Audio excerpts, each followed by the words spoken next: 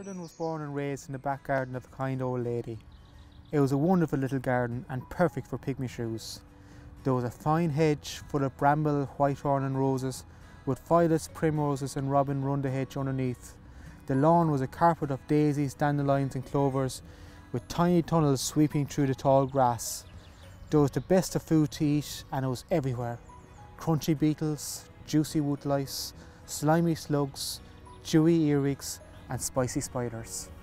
So I'm Shane Casey. I'm the author of two dyslexia friendly children's books. I always try to write about nature that uh, I find in my own garden or local park, the nature I find when I'm out for a walk myself, because that's the one that, that most people will, will encounter, that's the one that will inspire most people.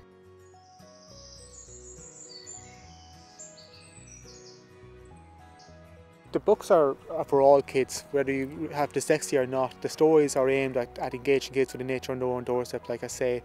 But we've uh, specially designed them for kids which have, uh, who have dyslexia. Um, dyslexia, as you may know, is a specific learning disorder. It's, it's nothing to do academically, it's just a specific learning disorder that affects how you see, how you spell and how you read. And there's little things we can do in a book that actually makes it much easier for kids with dyslexia. The first and biggest thing is actually the, the colour scheme. So you avoid black text on a white background.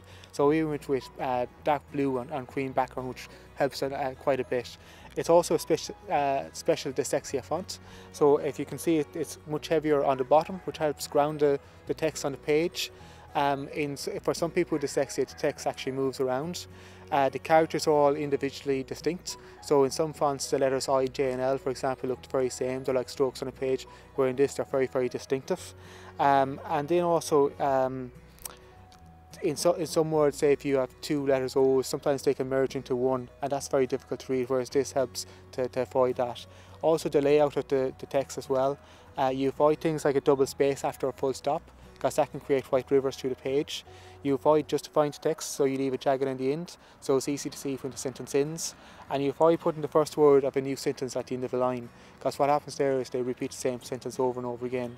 So like we say, the stories are the same for everyone, no matter what you what child you are, whether you're old or young, they're the same for everyone. It's just they're designed a little bit differently, but actually makes it much clearer for, for everyone reading the book as well.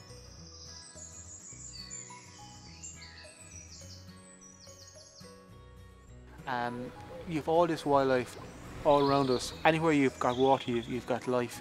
So you should expect to see insects, mayflies, dragonflies, butterflies. Anytime you see a patch of light coming through the coming through the trees, you, you expect to find dragonflies and damselflies. Um, in the water, around the water surface itself, you expect to find stoneflies and caddisflies. All along the bank, you should expect to find plants that like getting their feet wet. So plants that are used to, to a bit of water. And then overhead, like I say, you've got all these tree creepers, you've got robins, wrens, chaffinches, blue tits all around us that give an absolutely incredible song right throughout the day.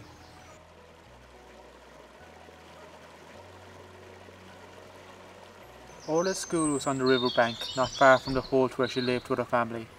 Her classroom was under an old willow tree that overhung the river. Oh, it was magical. Its branches lazily broke the surface of the water, sending tiny ripples downstream. The leaves sang an enchanted duet with the gentle breeze, and as the sun rose above the horizon each morning, it cast a shimmering shadow on the water surface.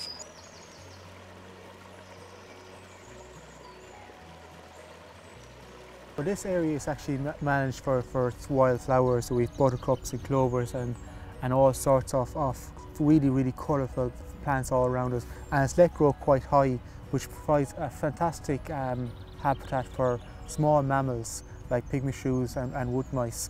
Absolutely beautiful. So when you're walking through the park as an adult, what you see depends on your, your line of vision. So up here we see open wildflower meadows surrounded by, by grassland.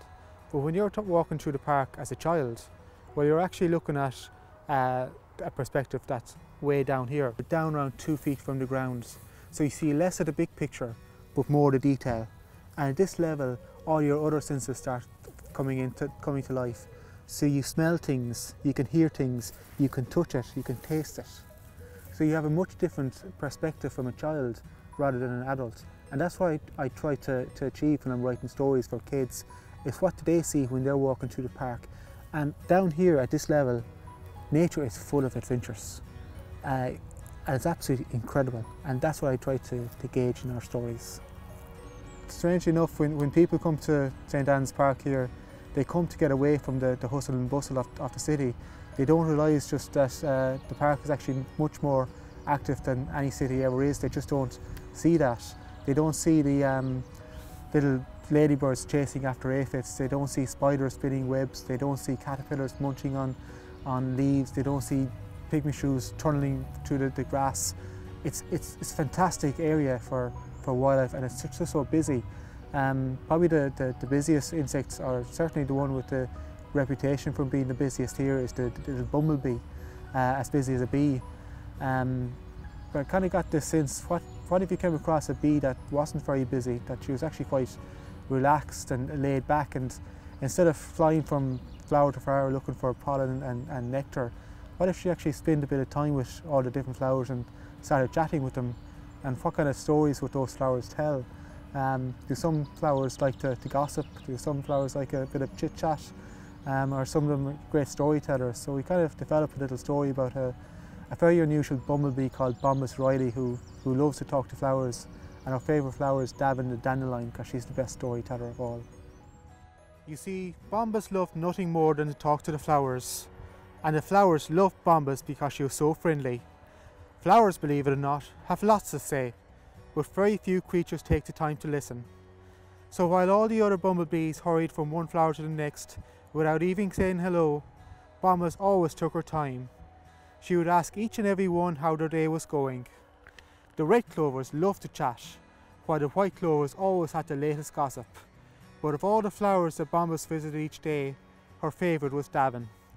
Davin was a most elegant dandelion with bright yellow petals and delicate green leaves. And Davin had the most wonderful stories to tell.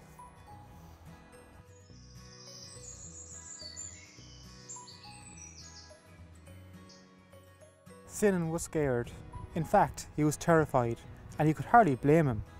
Indeed, most young birds are a little bit scared about flying for the very first time. But Sinan was a swift, and he knew that a swift shouldn't be scared of flying.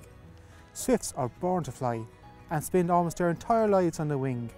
They eat, drink, and even sleep while flying. So for a young swift like Sinan to be scared to fly, well that was a very strange thing indeed.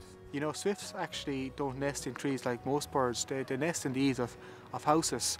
So when a little uh, young swift is looking over the edge of the nest, he doesn't see soft grass underneath him. All he sees is, is hard concrete. So uh, you can't blame Sinan for being absolutely terrified.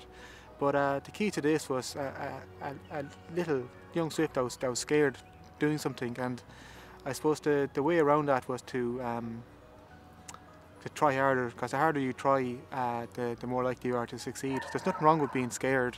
Uh, being scared just helps you to kind of focus more on your on your own abilities and uh, let the the wind gather beneath your wings and, and um, just keep trying.